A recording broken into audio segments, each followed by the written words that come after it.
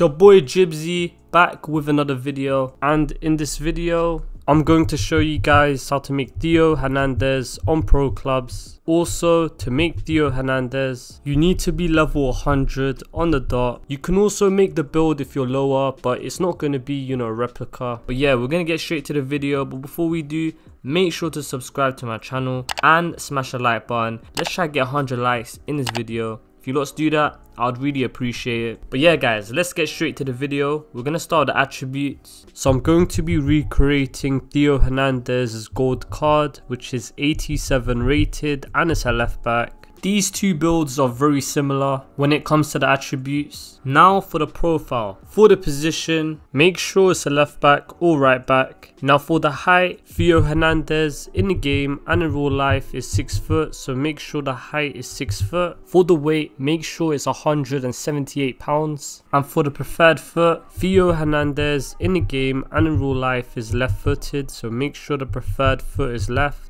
That's it for the profile. Now for the playstyles, the playstyles I feel like Theo Hernandez should definitely have, which is Bruiser Plus, Relentless Plus, Tiki-Taka, Whipped Pass, Anticipate, Rapid, Quick Step and Long Throw. Now the playstyles are done. Now let's go to facilities. You get Sports Scientist, which has 2 stars. You get Speed Parachute, which has 1 star. And you get Yoga Instructor, which has 1 star. Now the facilities are done. Now let's go to the blueprints. For the physical, these physical attributes are looking good. And let's not forget, these attributes in the physical section will get boosted even more because we do have a few, you know, physical playstyles. Now for defending, these defending attributes are really good. And let's not forget, these attributes will get boosted in game because we do have a few defending playstyles. Now for the dribbling, the dribbling is looking good. Also, this build has 4 star skill moves because Theo Hernandez in the game has 4 star skill moves. Now for the passing section, these passing attributes are really good.